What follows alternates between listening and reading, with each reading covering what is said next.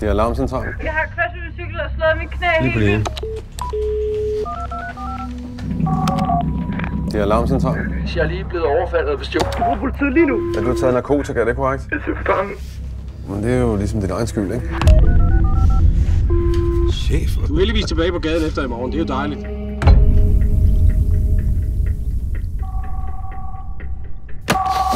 Det ringer. Det er alarmcentralen. Hallo? Taler jeg med Iben? Hej, skat. Har du drukket? Nej, det, nej, det har jeg ikke. For helvede.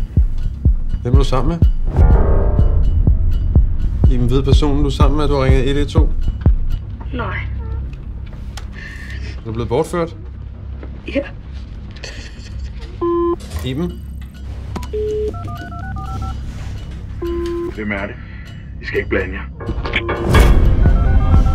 Kommer mor nogensinde hjem? Jeg er fra politiet.